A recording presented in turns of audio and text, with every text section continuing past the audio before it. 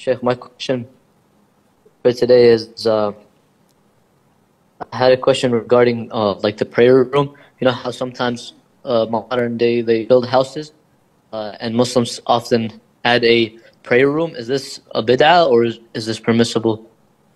Well, this is a- an issue of dispute. Utban ibn Malik, may Allah be pleased with him, because he used to live away from the masjid and it was difficult for him to commute there, he requested that the Prophet ﷺ come and pray in his house so that they would take this place as a musalla or a masjid.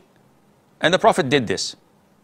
And the Prophet also prohibited the Muslims from taking al-maharib in their homes. And the scholars explained that al-maharib are the plural of mihrab, and it's a place designated for prayer.